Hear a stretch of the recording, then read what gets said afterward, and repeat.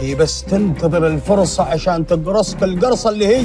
في الحلقة القادمة قلب أنيسة يملأه الشك تجاه صالح. لا يكون شكت بشيء. وهل بدأ يميل ليونس؟ سيدة عظيمة. سيدة ليست ككل النساء. منهو ولدنا الليلة السابعة والنصف بتوقيت السعودية على ال MBC 1 وشاهد. رمضان يجمعنا.